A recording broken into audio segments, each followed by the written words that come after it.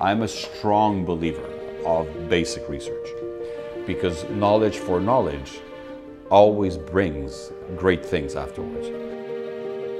Yet, if you find something that you realize, not only am I going to understand something that I've been obsessing for the last 20 years of my life, but I may actually find something that hopefully people could benefit from. That is priceless. That's the main driving force in the end.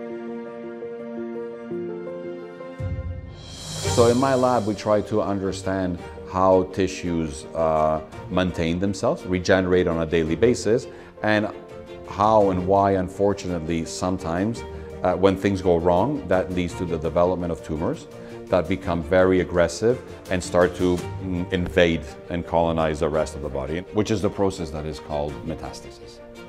And that uh, really, unfortunately, is uh, the cause of 93% eh, of the deaths related to cancer. So it's sort of like, it's really the unmet clinical need that we have regarding cancer.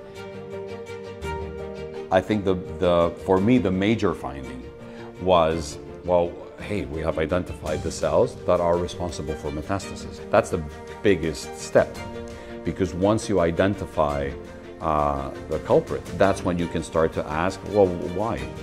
Why, are, why do you have this capacity and the tumor cell that is right next to you doesn't?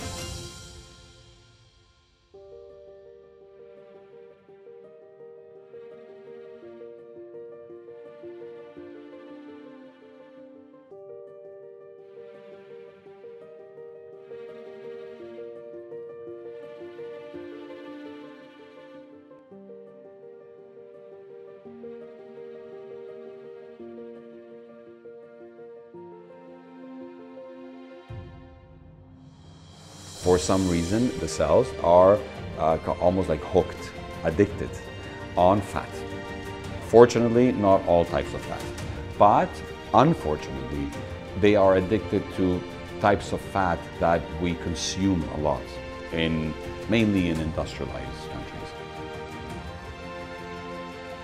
I don't think we can control the diet of the population. That's very, very difficult.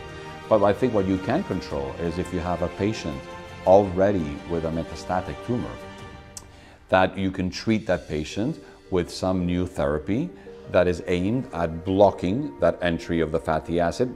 So I think there is really there is hope. Uh, all of a sudden, I get this phone call that I saw was from abroad. I picked it up. It was a shock. it was very surprised though. Um, but then immediately I realized, oh, mm, you know, I, I, was, I was extremely happy. Besides the money for the lab, it boosts the morale of the lab. So I think for them, it makes them feel, well, yeah, we're, we are doing something right. No, uh, our research is having a real impact. People are seeing it, you know, and people are acknowledging it.